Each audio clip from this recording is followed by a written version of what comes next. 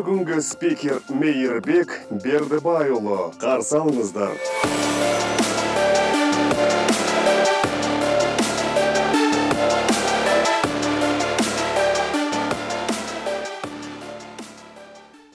Құтты болсын. Кеше общий анализ жасап осы уақытқа дейін осы бизнес мектеп арқылы 34 миллионер шыққан өзіміз таң қалып қуанып отырмыз.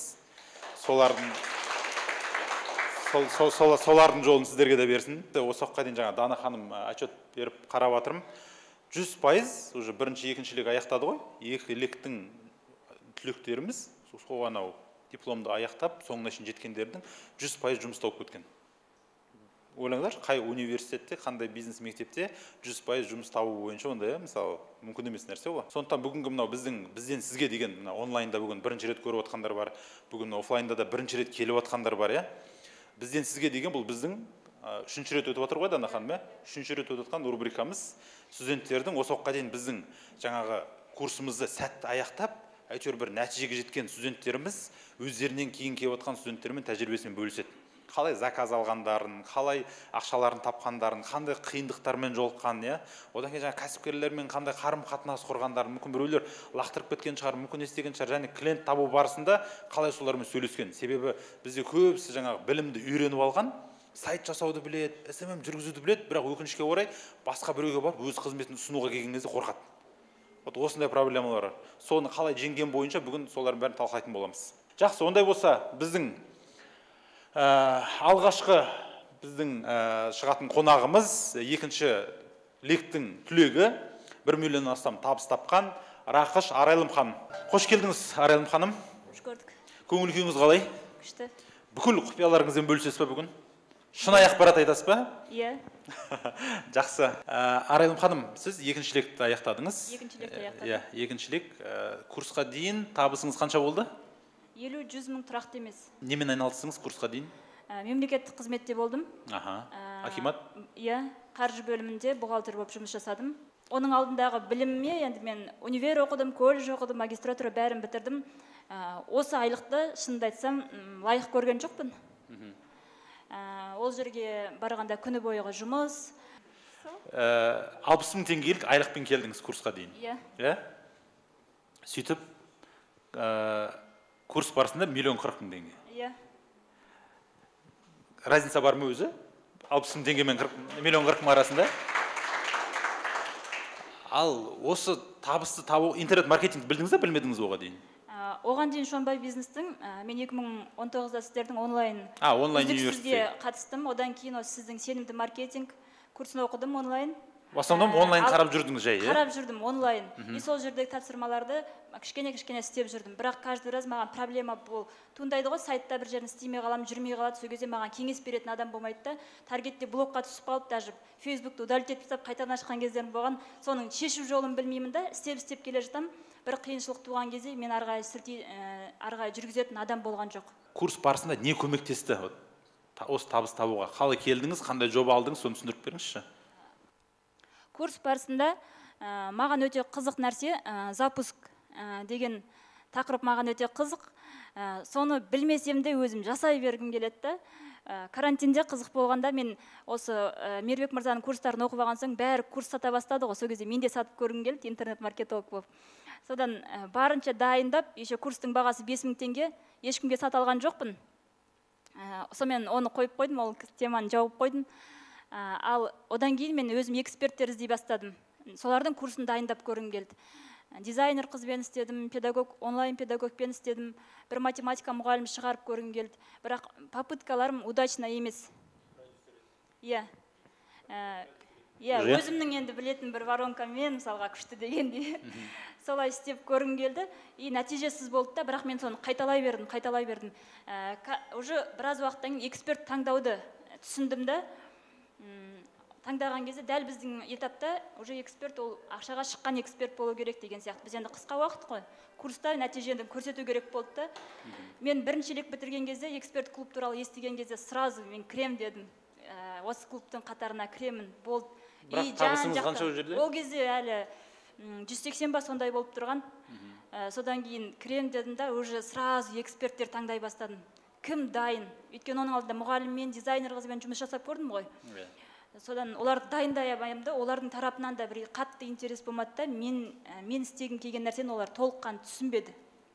Сөйтіп айнұр жүсіппен жұмыс жасадым. Өте жақсы ворон- ә, запуск жасадық. Қазіргі күнде де бірге жұмыс жасаймыз. И қанша келістіңіз ол кісімен? Қалай Ә, болды ол кісімен отыз пайыз жиырма пайызға келістік алғашқы запуск күні аха. Табыстан. алғашқы запуск жиырма пайызы сіздікі Менікі, сексен пайыз оныкі таза Иә. табыстан иә? Оларда мұғалім бар екен бәрі бар екен басқа да. Менің тарапымнан тек қана воронка құру болды. Мен таргет жасамаймын мен сайт жасамаймын ештеңе жасамаймын. Как маркетолог ретінде мен оларға пошагово сценарий жасап беремін ғой. А тек сол ғана иә? Тек қана иә сол. Соған жиырма пайыз берді. Иә. А қалған табысты қайдан таптыңыз? Ә, сол айтып отырмын ғой таргетке жазады маған. Обычно таргетті бес мың теңгеге жасайтынмын иә настройкасын. Ә, баннер менен деп айтатынмын. Бірақ сол клиенттер жазған кезде мен парақшасын қараймын немен айналысасыз деп сұраймын. Сіз мынау инстаграмыңызды былай былай әрлеп қойсаңыз мынау дұрыс болады деп бағана поисковая строка дегендерді түсіндіремін олар енді уже түсінеді ғой маман екенін. Сосын айтамын мен осындай маркетологпын мен қолымнан сайт жасау келеді. Сайт деген өте өтімді. Әзіргі таргеттер неге өтімсіз? Өйткені сіздер ватсапқа өткізесіздер деген сияқты. Осындайдың бәрін ашып айтамын содан кейін олар онда маған да сайт керек екен дейді.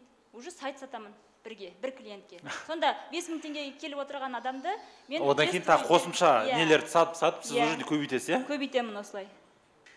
Молодец. Өткенде ә, өткенде бір студентіміз болды ол кісі де айтады да мысалы. Енді қазір ә, мына кісімен істеп жатсыз ғой сіз иә? Қазір жұмыс. Қазір ә, мені инкін группқа жұмысқа шақырды алмас мырза. Қайсы? Алмас мырза. А, жұлдыз ақболат иә иә. Сол кісінің ә, барып қандай жұмыс екенін собеседованиеге бардым. Сөйтсем ол кісілермен міне айнұр жүсіп бірге жұмыс жасайды екен қазіргі таңда. И бәріміз бір командаға жиналдық қайтадан. А сіз сол жерге қосылдыңыздар Иә. сол жобаға иә? Проект менеджер болып тоже запуск бойынша. Молодец. Қа- қанша қанша балаңыз бар? Қанша үш балаңыз? балам бар. Кішкентай нешеде? Бір жаста. Бір жастағы баламен келіп оқыдыңыз. Иә. Молодец.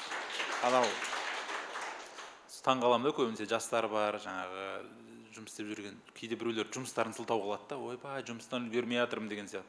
И мен көбінесе осындай кішкентай балалар бар аналарды көрген кезде вообще таңқаламын негізі ше. Қалай деймін да ол? Мүмкін емес қой негізі. Үйде балаң бар мысалы да оған қарайтын бір адам табу керексің. Еще оқудан жүгіріп барып оған қарайсың еще тапсырма орындау керексің. Негізі бағанағыдай анау алтыншы апта бесінші аптада сабақтан кетіп қалатындай деңгейде де болады ғой негізі адамдар деген любойында. Оны ә, оған маған әсер еткен бір жағдай болды. Ә, жазда мен просто бұл оқиғаны не үшін айтып отырмын? Себебі маған да біреудің оқиғасы қатты әсер етті да. Мен жазда өзім аяғыма операция жасатуға шешім қабылдадым. Ол операцияны маған ә, бір жылда аяққа тұрасың дегенде енді бір жылда қалыпқа келесің дегенде айтқан болатын. Бірақ мен осы курсқа қатты қатысқым келді. Бірінші потокқа сол үшін келе алмай қалдым да. Содан екінші поток қабылданып жатыр. Мен үйде төсекте жатырмын. Аяғым даже бүгілмейтін ол кезде. Менің бағанағы пронелерімнің арасында бір фото өтті. Алғаш келген кезде осы жерде төрт бұрышты ходунок деп айтады. Төрт бұрышты таяқтай емес ә, сол немен келіп жүрдім да. Сол мені өте қатты сындырған болатын. Себебі өте көп адамның көзқарасы ә, бірақ олардың аяушылық деп сезінбейтінмін бірақ сонда да менің энергиямды алатын да ол нәрсе. И әм, алтыншы аптасында мен больницаға жатып шығып сосын таяқпен келген кезде бәрі қол шапалақтап жеңілдеп қалыпсыз біз наоборот сізден күш алатынбыз сіз осындай ешқандай ештеңеге қарамай келесіз бір сабақты қалдырмайсыз деген сияқты. Ә, бұл оқиға просто ә, ол сенің миыңда ол шектеу ма мүмкіндік па деп сіздер айтасыздар ғой мен талай жерден оқығанмын. Егер мен осы сол кездегі төсекте жатқан ә, шектеу деп көрген жоқпын мүмкіндік деп пайдаландым. Себебі оған дейін үш баламен иә үйдің тірлігімен мен оқуға мүмкіндік болған жоқ. Ал анандай жағдайда жатқан кезде мен үйде құр жаттым жолдасым мен анама айттым мен барып оқып келейін мен ақыры үйде жатырмын ғой деген кезде мені қолдаған анам мен жолдасым. Өзі әкеліп осы жерге отырғызып қойды.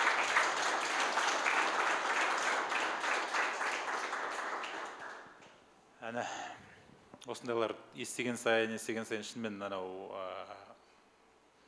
қатты іште ана бір сезім пайда болады да. Ә, кейбір адамдарға шынымен ә, керісінше сылтау көп айтады а кейбірлер керісінше ешқандай кедергі қарамастан өзін өмірту өзгерту үшін. И алла соған сәйкес нәтижеңізді берген шығар аралым ханым. Иә молодец. Құтты болсын. Осындай нәтиже көрсетіп мына жастарға да сіздің жолыңызды берсін артыңыздан келіп жатқан екі басқа лектегілерге. Ал енді арайлым ханымға сұрақ бар ма? Сұрақ қояйық сұрақтарыңыз болса. Ә, сіз айтып жатсыз ә, көптеген мамандармен жұмыс істедім деп психологтармен бәрімен. Осы миллион ә, тапқан барысында қанша адаммен жұмыс істедіңіз?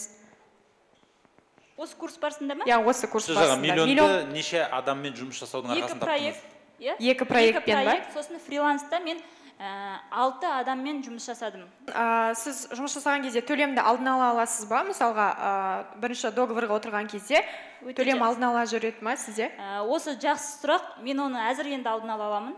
Әзір бағамды қоя аламын алдыға қарай. Оның алдында курс барысында мен де айта алмай жүрген болатын бағана запуск деген темаға процентке келісіп аласың қалтаң бос сонша энергия жұмсап бағанағы сайттың басқасын бәрін жасайсың да продажа соңында жоқ. Ондай кез болды. Ә, даже бір запускта мен вообще ақша берген де жоқ. Мен сол содан кейін мен айтатын болдым все мен примерно расчет жасадым маған предоплата. Жасайсың содан қарай жұмыс жасаймыз А, қайырлы кеш арайлым ханым А, мынандай сұрақ сіз жаңа айтып жатсыз ғой предоплата мынандай бере тұрасыз ол как бы заранее аванс и вычет болады ең соңында депші. Ал егер де например ә, запуск жасадыңыз бірақ атпады и сол кезде сіз предоплатаны қайтарасыз ба? Ә, жоқ қайтармаймын. Неге? Өйткені се- сіз бәрібір де жұмыс жасадыңыз ғой сіз оған дейін. Мен осы жақында ғана бір опыт болды бір клиент, ә, кәсіпкер хабарласады. Ә, ниша прям нольдан бастағалы тұрмын дейді. Ә, и сіздің услугаңыз қандай? Типа договормен жұмыс жасайық. Мен айтамын осындай осындай. елу пайыз предоплата. 15 күннен кейін анализ жасаймыз. Қаншалықты дұрыс болып жатыр деген жобада сияқты. елу пайыз предоплата Иә. ол қанша теңге болды мысалы? Ә, мен мысалға үш жүз мыңға келісетін болсам мемлекет ә, этот ә, маркетинг услуга бір кәсіпкерге келісемін дейді. Мен оған айтамын жүз елу мың теңге төлейсің мен жұмысқа кірісемін. Яғни сайтын жасаймын басқа нишаға қарай қандай реклама требовать етеді соның бәрін жасаймын. 15 күннен кейін ана бюджет соның ішіне кіреді. 15 күннен кейін барып екеуміз анализ жасаймыз деймін. Міне мынандай болғанбыз мынандай. Егер осы сізді қанағаттандырса қалған жартысын жасайсыз да ә, төлейсіз да мен айдың соңына дейін жұмысты атқарамын. Бірақ әр ай сайын сен сайт жасап отырмайсың ғой. Одан кейінгі қызметімнің бағасы мынандай теңге. Стабильно реклама жасап беру үшін деген. Қайырлы кеш. Мен же бір сұрағым мынандай. Ә, мысалы процентке келіскен дұрыс па или определенный ставкаға келіскен дұрыс па? Ол ә, нишаға байланысты. Мен солай дер едім. Мысалға ол товар сататын мысалы дүкендер нелерге байланысты. Товар сататын болса по факту сіз мынандай мынандай жасап бересіз өзің, өзіңіз жасайтын нәрсені. Соны сразу бағалап баға, алып алған дұрыс. Жақсы арайлым ханымға көп рахмет. Дами беріңіз арайлым ханым. Ә, бұдан да үлкен нәтижелермен ә, бізді қуанта беріңіз. Ә, тек жақсылық тілейміз сізге. Иә. Жақсы. Сау болыңыз вот ортамен араласқан кезде мына басқаларға айтамын қазір енді аяқтап жатқандарға бір бірлеріңізге қолдау көрсетіңіздер уже сабаққа келмей жатыр ма? Одан қайта айтыңыздар. Келсейші қайда жоғалып кеттің? Орындасайшы мысалы ше істесейші деп. Кейде элементарно сол бір, бір сөздің өзі ортаға сол жетіспейді да. Сондықтан мынау ортаның рөлі өте жоғары. Сондықтан бір бірлеріңізге қатты көмектесіңіздер. Ал енді келесі тағы қонағымыз бар. Ә, бұл жігіт та екінші лектің түлегі. Жұманқұлов ермек мырза. Қарсы алыңыздар.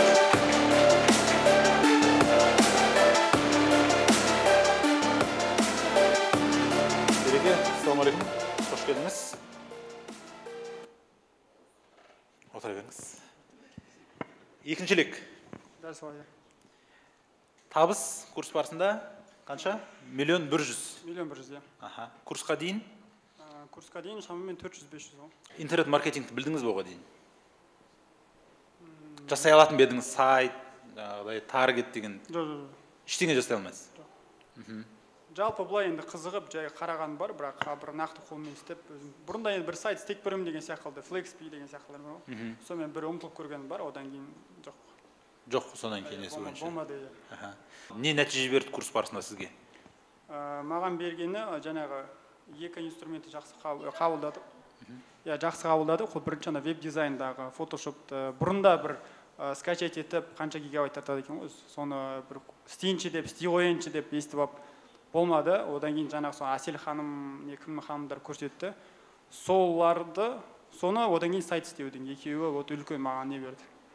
Плюс әсер етті иә, табыс Иә, табуыңыз иә, иә, бойынша иә. яғни веб дизайнда мен өзім сайт жасауды яғни инстаграмды әдемілеуді ә, сондай нәрселерді игердім да сол жерде. Соны біз еще жаңағы ана астанадағы не ашқан кезде магазин ашқан кезде газовый котел. Сол жерде сол барлық сол жердегі үйренген нәрсенің барлығын сол жерде қолдандық. Осы жайлы айтып беріңізші қашан пайда болды бұл жоба? И сіз курсқа келгенде бұл болды ма? Ә, бұл жоба негізінде ә, астана қаласында қазір астана қаласында білсеңіздер газ келіп жатыр енді келіп жатыр енді қосылайын деп жатыр жақын арада. Соған байланысты ә, жолдас бала яғни осы мен айналысып жатқандықтан осы интернет маркетологты біледі де енді. Айналысып қатысып жатқанымды сол осындай магазин ашсам сен осы жағынан маған көмектессең деді. Яғни қаржы барлығы мен жақтан сен тек қана осы интернет яғни сату жағынан маркетолог жағынан сол жағынан көмектессең деді. 11 миллион дейді. Не болды сол кезде ол? бір айдағы ма сол? бір айдағы 11 миллион теңге оборот иә жасадыңыздар ма? оборот. Бұл жерде енді мына- нөлден ашылған компанияға бір 11 миллион теңге оборот. Иә иә. Бұл енді жаңағы мысалға газовый котелдардың средний чегі мысалы екі жүз мың үш жүз мыңдай болады да мысалы айтқанда. Сондықтан сәл осындай үлкен сумма шығып тұр да мысалы айтқан кезде. А оны таргет па немен қалай таптыңыздар клиенттерді? басында иә біз таргет жібердік жаңағы сайтқа да жіберіп көрдік. Ә, енді екі жүз үш жүз мың заты болған соң ол жерден бір эмоциональный покупка жасау қиындау болды да мысалы айтқанда несін бәрін көрдік. Одан кейін қарапайым өзіміздің неге қайттық? OLX-қа қайттық. И ананың ішінде біз деген кәдімгі то звезда болып ақыры бір кісі айтады да ана звондап. Енді күшті ең күшті комплимент типа айтады да. Жаңа копирайтингтің несін қолданғанбыз айданы қолданғанбыз енді типа Иә. желаниясын ашып несін ашып. Сондай андағыны өз маған керек емес дейді да ана котелдардың просто ана дато жазып суреттің әдеміліктен просто сендерге звондап сұрағым келді дейді да мысалы айтқан кезде не сатып жатсыңдар деп дейді да мысалы айтамын. «Мен күшті- ең күшті комплимент болды да ана жұмысқа. Еще оны ана жолдас бала айтып тұр да мен айтамын бә кооперативтің күші деймін да қазір адамға да істеген итермелеп жатыр да ал қалған екінші тағы жобаңыз бар ма несімен Ә, екінші жобада мен енді ол жерде былай ә, консультант неме не дейді айтқанда сондай ретінде не қылдым. Сол баяғы тендеріңізге бардыңыз? Қайт үйренген үйренген. Иә бұл енді бұл жерде бұл өзімнің таза нем өзімнің проект. Қазір ахан бергенбай деген кісінің соның жеке именно курсының вот негізі оффлайн өткізетін соны онлайнға өткізуге жеке продюсер ретінде соған жұмыс істеп жатырсыз иә, сол бойынша иә? Қазіргі проект иә соңғы проект. Өзіңіз курсқа астанадан келдіңіз ба сол кезде? Или алматыда негізі осында екінші курс студентімін енді а студентсіз ба сіз? Иә иә. Молодец. Бірінші ә, бакалавр бітірген магистратура біткен мына жерде қайтадан бакалаврда нұрбаракте екінші курста оқып жатырмын молодец. Иә. Көбісі ә, нақты не үшін келгенін ана целінен кетіп қалатын сияқты да сондай ортамен жүріп там жаңағы не знаю стористарға түсіп мәз болып былай қарасаңыз. Мен өйткені қарасаңыз жаңағы веб дизайн сайт аптасында да ә, как раз пятница емес содан кейін ары қарай балалар демалысқа кетеді. Сол күні мен шамамен ә, неге веб дизайнға ә, неге мен дайын болып келдім? себебі оғанға дейін мен білдім қай апта болады мысалы веб дизайн ба соны фотошопты для чайников деген ютубтан тауып алып бір бір күн ба бір жарым күн кәдімгідей отырмай далаға шықпай. Алдын ала иә дайындаламын алдын ала дайындалдым да мысалы айтқан кезде. Алдын ала дайындалып кәдімгідей мысалы айтқан кезде. Сөйтіп енді сәл болса да уже базовый навыктар болып келді. Ол оғанға дейін айтып тұрмын енді білмегенмін де. Именно ютубта жетеді мысалы айтқанда проблема жоқ и одан кейін осы жерден келген кезде сіз ана сұрақтарыңыз адекватный сұрақ болады да былайша айтқан кезде. И ана спикерді максимально сығып аласыз да мысалы айтқанда. Мен сәл андай сол жағынан өзім ренжідім де мысалы айтқан кезде. Себебі өз жағынан бірінші бірдеңені талап ету үшін сен бірінші өзің міндетіңді орындау керексің де шәкірт ретінде міндетің бар мысалы айтқанда. Сабаққа алдын ала дайындалып келсеңіз мына жерде банально қарапайым сұрақтарды қоймайсыз да мысалы айтқан кезде. Сол кезде ә, сол кісілерден мысалы айтқанда дайындалып келдім. Сұрадым мысалы айтқанда аналар деген ана клик мына кнопка қайда мына кнопка қайда? деп отқанда біз ана түстер несі деген бар ғой үйлесімділігі деген сияқты. Сондай сұрақтарды сұрап алдық. А мына жердегі сен не деп жатрсың дейді де. Оған ол примерно бір сайт жасау кезінде бір екі аптадан кейін жетті де мысалы айтқан кезде. Онымен айырмашылық менде не болды? Сол алдын ала сәл дайындалдым просто болды и все мен вообще қорқып қалдым басында бірінші сабаққа келген кезде. А не еді? Үйренуде үйрену деген Үйрену- сабақ болды ғой. Бәрі кәдімгі заряженный да вообще кәдімгі до того заряженный шошып кеттім мыналар менде анандай энергия жоқ та кәдімгідей деген бір бірімен деген жан таласып че то екінші аптада қараймын че то түрлері ағып жатыр да ақырындап ақырындап былай айтамын үшінші төртінші апта вообще че то не жоқ мертвый уже өліп қалған сияқты. Да пленге түсіп қалғандар сияқты уже келу керек ана бүйту біреу керек. қинап әкелген сияқты иә иә мен айтамын айналайын өзің келдің ғой мысалы айтқан кезде. Сол жаңағы күшті дұрыс басқара алмай қалады да одан кейін дұрыс емес жаққа жұмсап қояды и бітті одан кейін мысалы айтқан. Одан біреуге ренжиді кінәліні табу керек қой. Ең оңайы кім біреуді везде андай ә, не знаю е, крайнийді табу да мысалы айтқан кезде. Анау кінәлі мынау кінәлі өзі керемет періште мысалы. Айналайын сен бірінші өзің міндетіңді орында одан кейін барып талап ет да мысалы айтқан кезде. Енді нәпсілеріңізге тиіп кетпесін әрине. Просто айтқан менің сұрағым бар еді сізге саламатсыз жаңа бірінші проектті айттыңыз ғой. Сіз мен түсінгенімше партнер ретінде бастағансыздар иә? Досыңыз екеуіңіз қанша процентпен келістіңіз? Ә, басында елу де елу деп келіскенбіз ғой. Елу де елу таза пайдадан деп иә. Таза пайдадан елу де елу иә. Сонда 11 миллионнан 370 бұл жерде иә ә, шамамен былайша айтқан кезде маржа төменірек 10-15 пайыз 13 пайыз. Үлкен өйткені мысалы 200 болған соң сен оған 250 300 деп сата алмайсыз да мысалы айтқанда. Маржа төмендеу болды да. Басында біз э, былайша айтқанда чисто бағамен сындыруға тырыстық та. Басқа рынокты шамамен зерттедік. И олардан біз э, утп дей ма не дейді андай уникальное торговое предложение. Олармен немен ерекшелене аламыз? Бір ақ нәрсе бағамен де. Басында сондай жертваға баруға тура келдік те хотя бы атымызды шығарып сәл болса да бізді адамдар білетіндей жасау үшін. Сөйтіп бізге кейс жасау керек болды. Адамдарды жаңағы сатып алады сразу түсіресің андай э, типа наши довольный клиенты деген сияқты ол жақсы жүре- өтеді мысалы отзывпен алдыңыздар а, ма көбісін? отзыв алу үшін. Сол отзыв алу үшін де біз жаңағы өзіміздің пайдадан сәл төмендетуге тура келді да мысалы айтқанда. Сондай шагтарға баруға.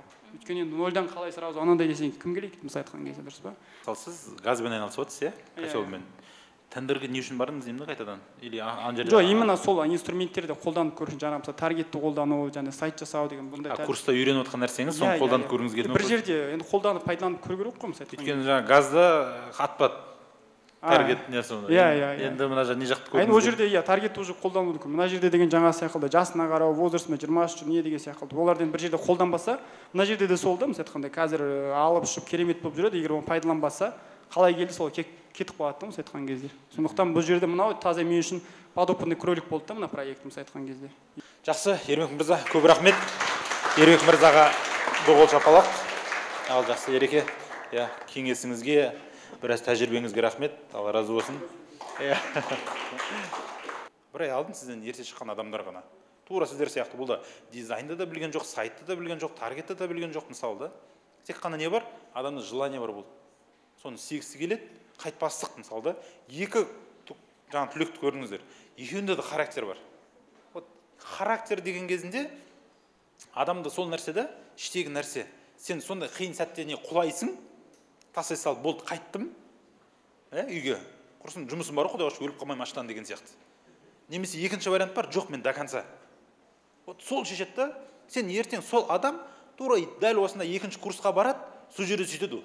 Ертең дәл ол да бизнесте қиындық болады жұмыста қиындық болады сіздерге гарантия берейін тағы тастап кетеді ол.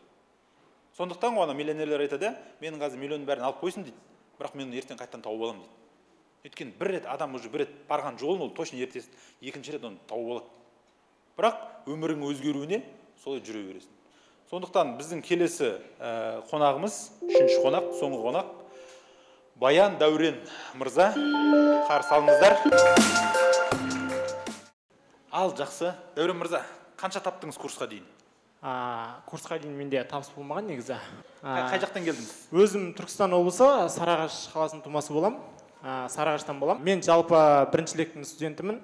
А, бірақ бірінші лекте а, оқудан қуылып кеткен студенттердің бірімін. Ойбай мен. А, бастапқы екі айда курста болдым. Екі ай курстан өттік. Сосын бізде өзім жалпы барбершопым бар сонымен екінші точканы ашуға әрекет қылып жүріп сөйтіп жүріп курстан шығып кеттім. А, жалпы екі айға дейінгі табысым менің м, бастапқы бір айда мүлдем табыс болмаған. А, екінші айда он күннің ішінде а, 505 мың тағы бірдеңесі болған сондай табысқа жеттік. Сосын сол екінші ай біткен кездегі табысым уже миллионға жақындап қалды. Курс қиын болды ма? А, жалпы курс қиын болды маған негізі. Неге өйткені өйткені курсқа дейін? мен осы уақытқа дейін жалпы таргет жіберу ә, SMM айналысу сайт жасау деген ондайдан мүлдем хабарым болмаған. Даже мен ә, қарапайым ә, опердің өзінің қалай болатынын білмейтін ә, курсқа келіп әліге шейін опера деймін десеңізші әліге шейін солай айтамын ә, курсқа келіп мен солардың бәрін үйрендім. Ә, үйренгенде мен олардың ешқайсысын өзім істемеймін қазіргі таңда. ә, бірақ зато солардан хабарым бар. Курсқа дейін мен талай таргет жіберткіздім балдарға. Соларға алданып жүрген болатын бірақ курсқа келіп соны үйренгеннің арқасында таргет жібергізіп жаңағы он күннің ішінде жаңағыдай дәрежеге нәтиже көрсеттім ғой. Жалпы мұнда келген студенттер болса құлақтарыңызға алтын сырға. Өзім істемеймін не керегі бар деген болмайды ол. Жалпы өзіңіздің хабарыңыз болса басқалар сізді алдай алмайды екен ше? Соны түсіндім мұнда келіп. Кезінде бір танысым болған. Енді интернет маркетинг дамып келе жатқан кезде хэштег бар ғой обыкновенный сол хэштегтің өзін қырық мың теңгеге сатып алған ғой. Анаған айтқан ғой өзіңіздің ерекше хэштегіңіз осы хэштегті басса сіз ғана тауып алады деп айтқан да анағаншы сөйтіп қырық мың теңге жасап берген ғой хэштег деген. Анау хэштег сатып алдым дейді маған. Айтамын ей қалай ол қырық мың теңге дейді. Ә, курс барысында ә, қай не әсер етті сізге? Таргет па қай именно сайт па? Курс басында маған әсер еткен ә, бірінші видео түсіретін апта болған. Сол бірінші әсер етті. Кейінгісі таргет апта әсер етті. Осы екеуі жақсы әсер етті осының арқасында креатив таргет жібересіз. Сонымен уже клиенттер иә клиенттер өзі прямой келді. Аха. Менде сайт болмаған ол кезде. Сайт болмаса да ә, прямой сол ненің таргетпен видеоның арқасында соның арқасында келді клиенттер. Сол кезде ватсапқа жібердіңіздер ме? Неге жібересіздер? Инстаграмға кіретін қылып жібердік та. Инстаграм. инстаграмнан ватсапқа жазады өздері ссылка арқылы. Жоқ айналысқан мен а, ең алғашқы айналысқан проектім playstation болған. А, одан кейін донер болған. Кейін барып жоқ ол курс барысында ма? Жоқ жоқ курстан алдыңғы нәрселер ол дейін. Иә. а курс барысында тек осы барбершоп курс барысында осы иә барбершопты ашқан енді уақыт жоқ қой біреудің шашын қысқартып жүрген кезде. Қалай не істейсіз бұл тағы да жобалар?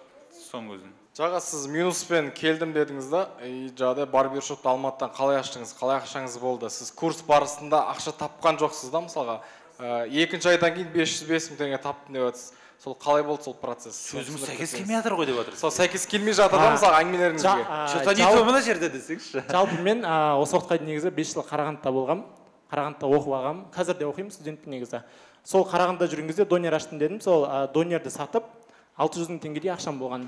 Сол ақшамен алматыға келдім. Ә, барбершоп ашатын кезде ол ақша жеткіліксіз болды менде. А, сосын мен қасыма серіктес іздедім сол серіктесім қалған ақшаның бәрін құйды. А, и одан жетпеген ақшаны біз қарызға алдық. Сол кездегі қарызымыз примерно үш жүз төрт жүз мың шамасында болған. И біздің ә, барбершоп ә, май айында ашылды карантин біткен кезде как раз. Сонымен майдан мен сентябрьге дейінгі ақшаны сол қарызды жаптым ә, қайтадан қарызға кірдім қарызды жаптым солай солай ойнап жүрдік. Ә, кейін жаңағы октябрьде по моему иә. Сол кезде бес жүз бес мың таза пайда қалды. Оған дейін мен қарыздарымды жауып тастаған болатынмын. Сонда сіздің қолданған инструментіңіз видео мен таргет қана болды. Иә негізі ол табысқа жеткен 500 мың тапқан кездегі инструментім только таргет болды менде.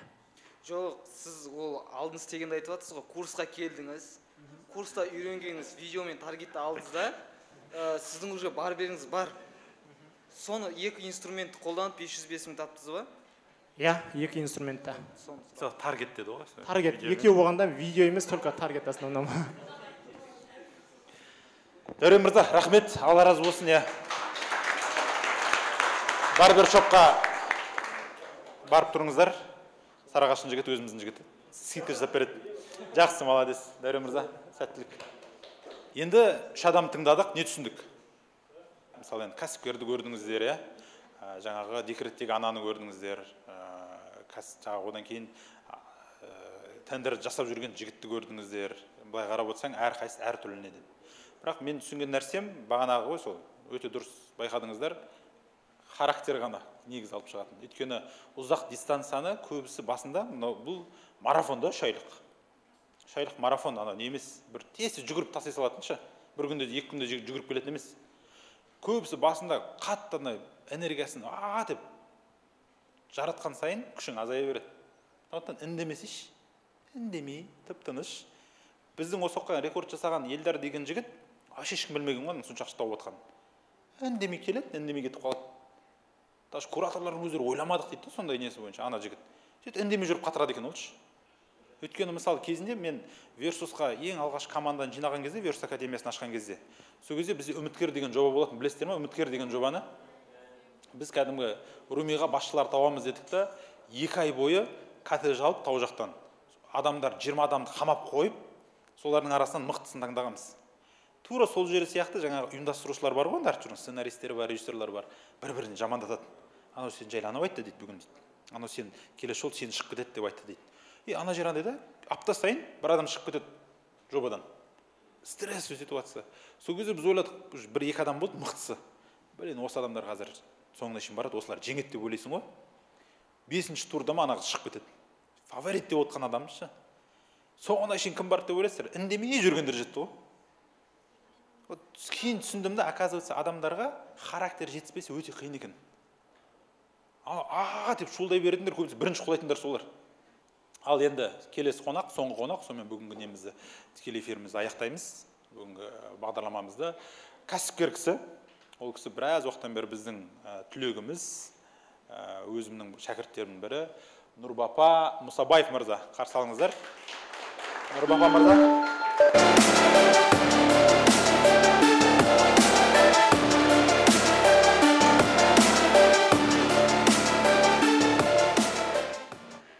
Қош келдіңіз нұрбапа мырза нұрпапа мырза сіз кәсіпкерсіз әнекей айтып беріңізші өзіңіз қандай компания кімсіз неше жылдан бері айналысасыз Ә, армысыздар ә, шонбай скулдың студенттері интернет маркетологтар Ә, менің есімім нұрбапа салық саласының экспертімін нұрпартнес бухгалтерлік компаниясының негізін қалаушымын енді жалпы ә, сал налоговыйда жұмыс істеген бастағам Ә, кейін налоговыйдан кетіп кәсіп бастап айналып келгенде сол консалтинговый бизнес деп.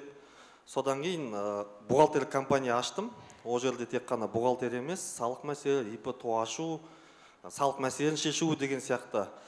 Ә, енді примерно 5 жыл болды жұмыс істеп жатқанына. Қазір сіздерге маман керек? Иә жалпы ә, маған маман керек. Қандай маман керек? Енді қазір біз ә, мына маркетинг саласына қатты көңіл бөліп жатырмыз. Интернет маркетолог керек ә, сатушы маман керек. Негізі білесіздер ма мен қызмет көрсетемін. Бизнеске аутсорс негізінде. Получается бухгалтериясын алып істеймін. Негізі сіздердің жұмыстарыңызбен біздің жұмысымыз ұқсайды. Услуга да бұл қызмет көрсету. Бұл жерде айтатын әңгіме өте көп негізі. Компанияма кірсеңдер айтып беремін соның бәрін десеңізші. Жұмысқа кірсеңіздер. Ал қандай сұрақ бастайық? Бір нәрсе жалпы айтайын. Ә, өткенде біз украинада жүргенде марла мырзамен кездестік қой. Сол кезде ол кісі айтады мен глобальный сөйлейтін адамнан қорқамын дейді да. Сол үшін маман келеді ғой маған. Мен көбінесе ол маман менің конкретно бір задачамды шешу керек. Мен негізі ойланамын осы сұраққа ше. Мен бір адамды алып қоя саламын ба? Жоқ әлде лучше мен әр саласына мысалы сайтқа таргетке копирайтинг дизайн әрқайсысын аутсорстан ала саламын бірақ мен мықтысын аламын да. Мен проблемамды қазір шешетін адам. Мен қазір обобщенный бір маманды алсам ол наверное бәрін ұйымдастыратын адам болуы мүмкін. Бірақ конкретно ол барлық жаңа процесті өзі істей алмайды. Жалпы маман алған кезде біз қалай аламыз? Бухгалтер мысалға мен осы уақытқа дейін жеті команда ауыстырдым. Полный команда тарап кетіп қайтадан жинаймын. Или там не үшін? Потому что дұрыс маман ала алмаған үшін. Бірақ қазір менде бухгалтер мысалға қалай алу керек екенін білемін. Минимум 100 резюме қараймыз. Ол кәдімгі воронка бар ол жерде. Өтеді өтеді. Ең соңында испытательный срокпен бітеді да. Портреті бар. Енді интернет маркетологтың портреті пока жоқ. Мен не істеймін? Пока көремін. Аламын ананы аламын мынаны аламын может қадаламын это нормально. Бірақ в итоге мен ол маманның портретін түсінемін. Даже ол қандай навыктар болу керек ода? Қандай тест қоямын? Немесе оның қандай тәжірибесі болу керек? Оның бәрін құдай қаласа опыт барысында білемін. Сол үшін есік ашық кез келген адам ұсынысын жасай берсін. Мен қоятын сұрағым енді көп маркетологтар сіздің нишаңыз негізі оңай емес қой енді бухгалтерия. Потому что қиын бар есеп бар не бар. Сіз өзіңіздің тарапыңыздан көмектесуге сол маркетологқа ә, ке- келісесіз ба? Ну келіскен кезде болады ғой бір түсіндім сізді. иә. Ол міндетті түрде солай болу керек. Негізі кәсіпкердің өзі маркетолог болу керек. Қазіргі заманда егер кәсіпкердің өзі маркетингті түсінбесе о- ол изначально өзінің продуктысының философиясын днк-сын білу керек қой. Ә, әрине көмектесемін. Мен в принципе біз қазір ә, таргет жүріп жатыр контекст реклама бәрін тестировать етіп жатырмыз. Хотя осы енді енді түсініп жатырмыз да. Көмек- көмектесу керек дегенде қандай не? Не қай жағынан көмектесіп деп жатсыз енді өзі бұл кісінің айтып жатқан мысалға менің нишама келсе бұл кісі менің целевой аудиториям кім қандай? Оны әрине оның бәрі бар бізде. Жалпы қараңыздар аутсорс деген ол заманауи. Қазір штатта адамды ұстағаннан көрі мен лучше сырттан маман жалдаған тиімді. Мысалы қараңыздар кейбір процесстер бар. Мен оны постоянно істеймін да оны бір маман отырып үнемі істеген жақсы. Но бірақ мысалға дизайн дизайн деген мәселе бар. Ол маған постоянно керек емес. Сол үшін мен штатқа адамды ұстағаннан гөрі аутсорс жалдай саламын нәтижесін ғана төлеймін. Вот сол дамып келе жатыр. Сіздердің мысалға болашақта сіздер де ә, сөйтіп аутсорсқа кәсіпкерлерге аутсорс негізінде қызмет көрсетсеңіздер болады. Біз енді сіз сұрап жатсыз сол заманға сай кәсіпкердің бәрі аутсорсқа беріп жатқаннан кейін біз бухгалтерлік қызметті аутсорста көрсетеміз. Иә, иә. бір ғана сумманы төлеу арқылы біз оларға көп қызмет көрсетеміз за счет системы түсіндіңіз ғой заман талабына сай. Сол біз сіздің нарығыңызды біраз анықтайын дегенмін ғой чтобы сразу өзім түсінбас үшін мысалы қай нарыққа кетіп барасыз кімдер деген сияқты. Ә, наверное мен былай айтатын едім. Сіздер егер кәсіпке маған келді бірнеше студенттер осы неден Иә. көбінесе өзінің ы, өнімін ұсынған кезде енді байқадым әлі кішкене жұмыс істеу керек ол нормальный нәрсе ұялады деген сияқты. Бірақ көбінесе мен бір кәсіпке мысалға маған клиент келеді налоговый бойынша. Маған вообще көп уақыт керек емес өйткені ол экс- экспертпін да мен әңгімені айтып бастаған кезде примерно түсініп тұрамын қай жаққа барады.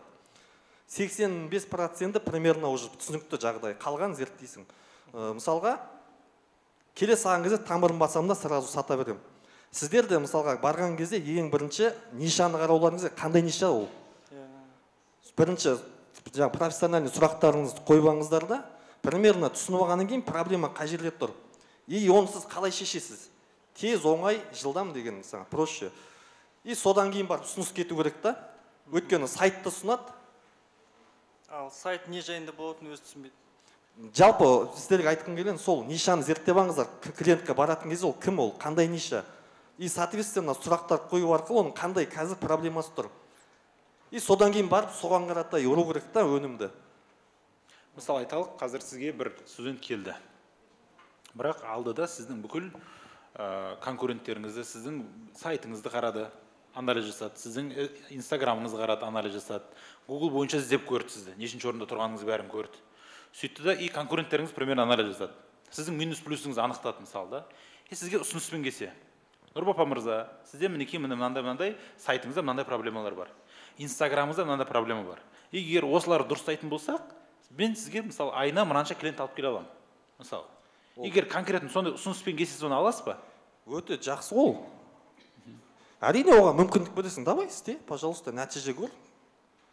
На инициатива егер маманнан болса ол вообще жақсы ғой. А сізге келіп жатқандар қалай келеді сол кезде қазір көбінесе? Мамандар ма? Иә мысалы келді деп жатсыз ғой не деп келді не үшін оларды алмадыңыз сіз? Так негізі маманның біреусімен біз жұмыс істеп жатырмыз ә, сайт жасап жатыр. Мамандар келді. Ну көбінесе енді мен түсініп отырмын бұл жерде. Енді жа, енді жалындаған жастар ғой. Примерно адамның вкусы біраз қолынан келіп тұрса оған мүмкіндік бересің да? Ну бірақ бизнесте негізі түсінгенім үйретіп аламын мен қазір оны кейін бүйтіп аламын деген ол маған қазір нәтиже беріп мен қазір ақша табуым керек та уақыт өйткені ә, содан кейін бересің просто сайт жасаймын дейді. Хорошо міне сайт саған бердім қанша уақыт жасайсың? Осынша уақыт. Бірақ айтамын мен бағасы осындай болады. Примерно келісеміз. Бірақ сайт жасағаннан кейін ұнамаса ренжіме. Ақша да төлемеймін қайтарып беремін. Егер өтсе егер сайтың онда сенімен жұмыс істейміз ақшаңды да төлеймін. Дальше мен саған заказ беріп отырамын. И егер жақсы маман болып жатсаң мен өзім бухгалтерлік қызметпен айналысқаннан кейін менің клиенттарым бар. Оларға да мен кейде шешім ұсынамын. Мына сұрақ. Сіз кәсіпкерлер екі подход бар да? Не өзі мысалы әлсіздеу маманды алады да ну әлі піспеген?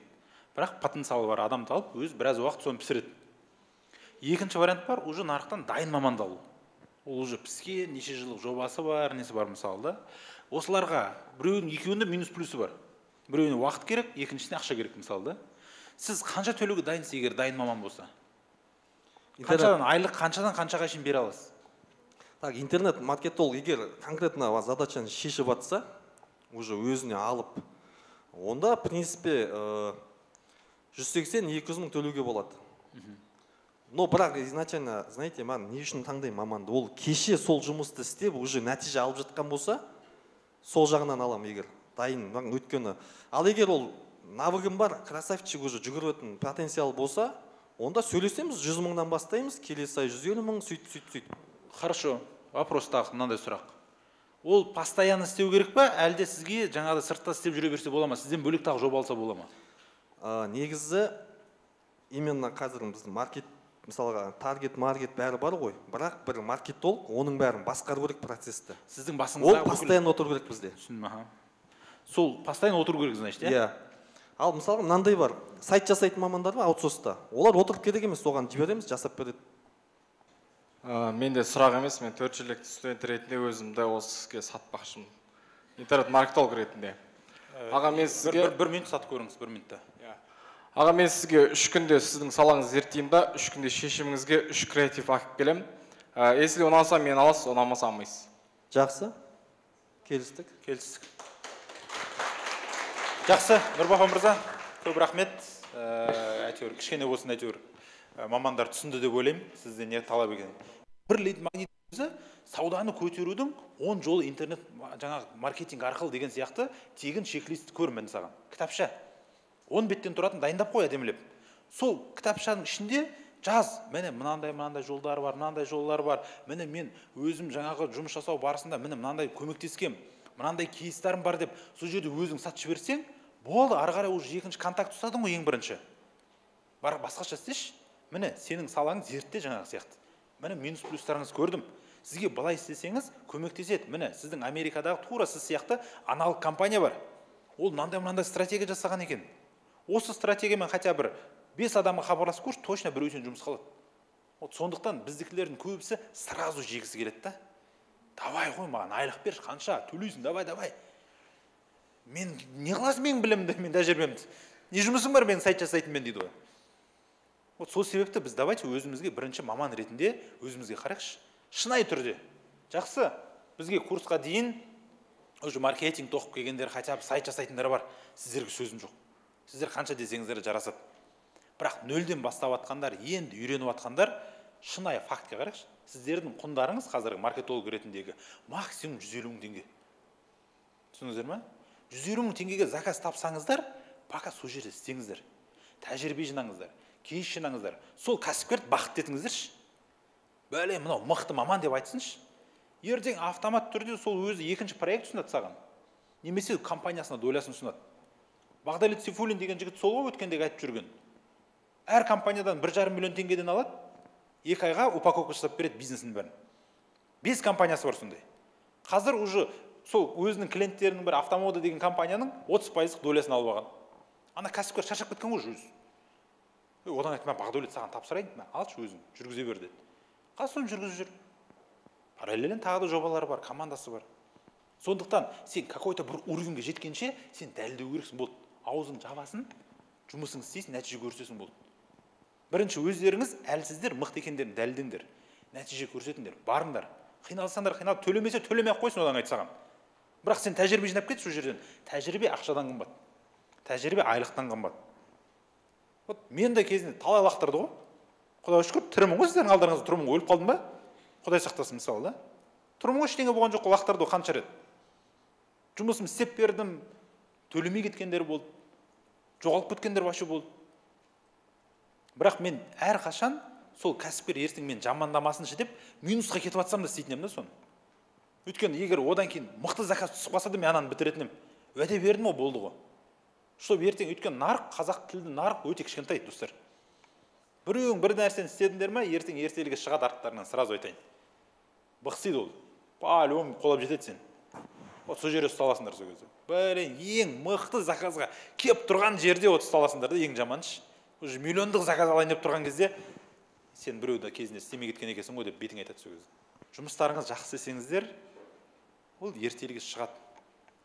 Мысалы өткенде жаңағы айлита деген қарындасымыз риза болдым он сегіз жастағы жаңағы алматыға бірінші рет келді деген. жүз елу мың теңге тауыпты курс барысында. Енді ойла оған дейін жаңағыдай бес жүз мың миллион. Ей не болады жүз елу мың теңге десем? Ей ол қояды мен қазір жұмысымды көрсетіп алайын дейді қазір дейді. Одан кейін мен жетемін ғой оған ақша дейді. Ақша проблема емес дейді. Он сегіз жастағы сөйтіп айтып отыр күлдік бәріміз. Кім болды өткенде айлита ханым келген кезінде көрді естідіңіздер ғой несін бойынша? Қазір уже жүз елу мың теңгеге күйеуіне уже маркетолог болып кеткен еще әйелінің жобасын жүргізеді сексен мың теңгеге. Почти екі жүз отыз мың теңге. Мысалы да он сегіз жастағы қыз. Уж молодец та вот сондықтан қатты құлпырта бермейік тауып жатсыңдар ма сөз жоқ молодец бірақ енді бастап жатқандар нәтиже жоқтар. Ойланып көріңдерші мүмкін проблема сізде шығар. Бағана бауырымыз сұрақ қойып жатыр ғой кәсіпкерге мүмкін проблема сенде шығар деген сияқты. Мүмкін проблема сіздер шығар жұмыс таба алмай жүрген мысалы да жоба таба алмай жүрген. Сол себепті осы жағын ойланып көріңіздер. Ол ертелі оның жауабын табасыздар. Дұрыс сұрақ қойған кезде ми дұрыс жауап береді өзі. Сондықтан бүгінгі мына біздің үшінші бізден сізге деген бағдарламамыз осымен тәмам келген студенттерге барлықтарыңызға рахмет. Кішкене болсын әйтеуір пайдасы тиді деген ойдамыз. Онлайндағыларға ютубтағыларға да рахмет. Әр апта сайын алла қаласа сәрсенбі сайын осы жерде жиналып осы бағдарламамызды жалғастыратын боламыз. Рахмет барлықтарыңызға